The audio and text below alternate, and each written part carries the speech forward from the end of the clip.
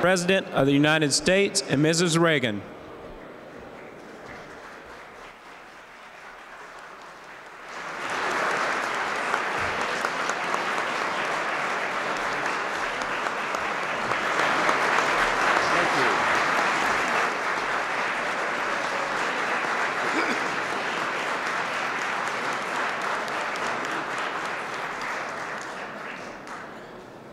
Ladies and gentlemen, I have been given perhaps the most useless job that has ever come down the pike to introduce to this group the President of the United States.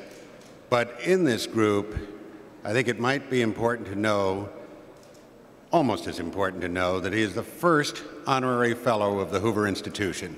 Ladies and gentlemen, the President.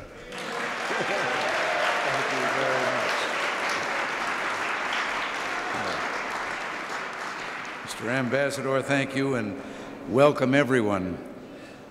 It's wonderful for Nancy and me to see so many old friends and allies again.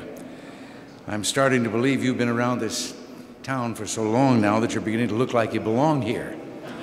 And uh, we've come a long way since we all met in Washington three years ago. And then, after only a year in office, our programs remained largely untested and still vigorously opposed by the old guard. But politics, as much as anything else, is a battle of ideas. And it was ideas, many of them originating at the Hoover Institution, that helped to overthrow what Milton Friedman has called the status of the, or the tyranny of the status quo. After last November's election, a great many people were talking about realignment I think reconciliation would be a better word. A reconciliation in which both parties, despite continuing differences, come together on the common ground of economic growth.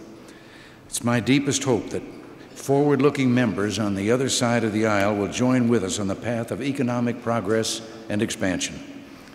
The real division today is between those who see the economy full of problems and those who see it full of possibilities. It's between the pessimist calling for retreat in the face of progress and the optimist seeking to build on our successes to ensure an even more permanent and far reaching prosperity. I knew that we had a recovery when they stopped calling it Reaganomics. Tax cuts, incentive economics, and inflation free growth are working too well for us to go back to the bad old days of more taxing and spending, bigger government, and no growth.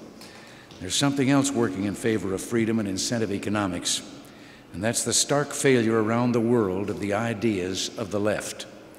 Even in China, the talk today is all of freer markets. And throughout Europe, high tax governments are slowly but surely trying to pull themselves out of the socialist trap and emulate what has become known as the American miracle.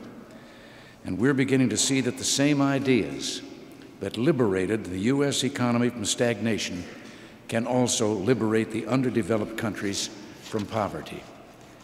The wealth of nations, whether they're developed, developing, or underdeveloped, springs from a common source their people. And whether we're talking about a farmer in Africa or an entrepreneur in Silicon Valley, it's freedom and opportunity that inspire the creative energies of man. Incentives can and will make dry sands bloom, and lack of incentive can turn gardens into deserts. Which reminds me of a story. I may have told it before. If I have, forgive me, because you know, after you pass 40, you suffer from lumbago and the tendency to tell stories over and over again. this has to do with a old country boy that took over some creek bottom land. It was all rutted and covered with rocks and brush. But he went to work hauling away the rocks and working on it and cultivating and fertilizing, and pretty soon he had a really blooming garden. And he was so proud of what he'd done that one Sunday morning after church he asked the minister to come on, come on out and see what he'd done. Well, the Reverend was impressed. He said, It's the tallest corn I've ever seen. He said, The Lord certainly has blessed this land. And then he said, Those melons, I've never seen any bigger than that. Praise the Lord for what he's done. And he went on that way with tomatoes and squash and beans, praising the Lord and his fine work, and the old boy was getting pretty restive. And finally, he couldn't take it any longer, and he said, Reverend, I wish you could have seen it when the Lord was doing it by himself. Uh, we've got a few boulders to clear ourselves before we get our programs through the hill. But I know I can always look to Glenn Campbell and the scholars at the Hoover Institution for some of the best advice around. And I want to thank you all again for being here and for all your support and help over the years. The intellectual seeds that you've sown at Hoover are now beginning to bear fruit. And I predict that in the next four years, we're going to see a bumper harvest. Now, before I leave, I'm going to tell you again about being careful in this town and not to get inoculated with some of what goes on. I can give you an incident of three politicians. You see, that kind of ethnic joke I can tell now because I'm in the fraternity. But uh, uh, three of them one day, and they locked themselves out of the car. So the one of them said, We can get a wire coat hanger and reach down. And, and the other one said, No, we can't. Somebody will see us and they'll think we're stealing the car. The other one said, Well, what if I take my penknife and cut a little of the rubber away from around the window and we can reach in and raise the lock? And the other one says, No, then they'd see us and they'd think we were too stupid to know we could do it with a coat hanger. and the third one standing there said, Well, look, we better do something. It's starting to rain and the top's down.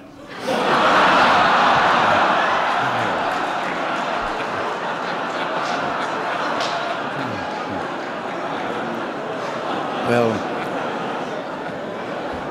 thank you. I think the, as I say, I predict that in the next four years, the seeds that were sown at Hoover are now bearing fruit, and we're going to see a bumper harvest. So thank you. God bless you, and may we work together for these next four years, the best years, and make them the best years yet for our country. Thank you all very much.